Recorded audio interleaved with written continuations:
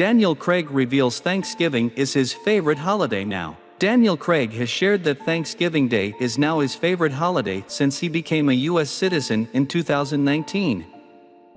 The James Bond famed actor also revealed that enjoy and celebrate the holiday every year.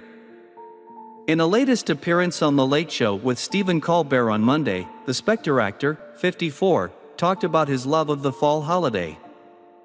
I do understand Thanksgiving.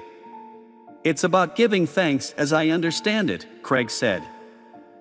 Craig, who is a British born actor, announced in 2019 that he had been granted U.S. citizenship eight years after his wife, Rachel Weisz, became an American citizen in 2011. The No Time to Die star, who lives in New York City with his family, said he had been celebrating Thanksgiving for several years now. I've been celebrating it for quite a long time, I think it's probably my favorite holiday, he said. Good things are hard to do.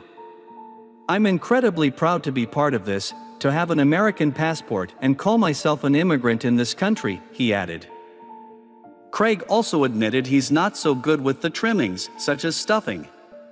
I think it's an abomination. You stuff it up the chicken turkey, Craig said of the classic Thanksgiving festive dish. I think it should be cooked separately.